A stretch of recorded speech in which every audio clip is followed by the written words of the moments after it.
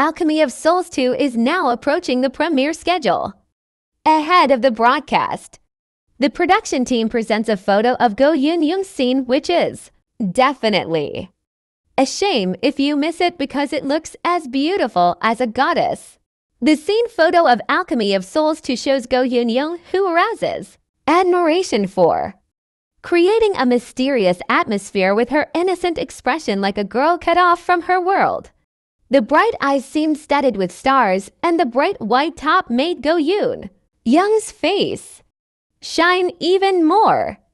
Above all, Go Yoon Jung emphasized the appearance of a mysterious woman, accompanying this photo of the latest Alchemy of Souls to scene. The production team provides an interesting leak. Go Yoon Jung attracted attention because of her mysterious mask and solid acting skills in Sweet Home, Law School, and The Hunt, said the production team.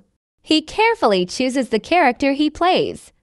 The mysterious atmosphere will emit explosive energy, and viewers will fall in love with Go Yoon Jung's charm, added the production team of Alchemy of Souls 2.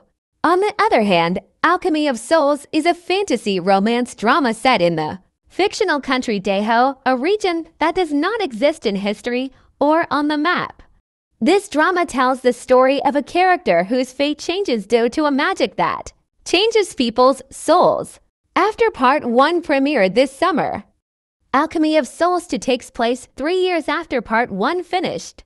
Instead of Jung So-min who played Mudeok in part 1, part 2 will star Go Yoon Jung as Naksu who previously inhabited Mudeok's body. Meanwhile, Alchemy of Souls 2 is scheduled to air from December 10th.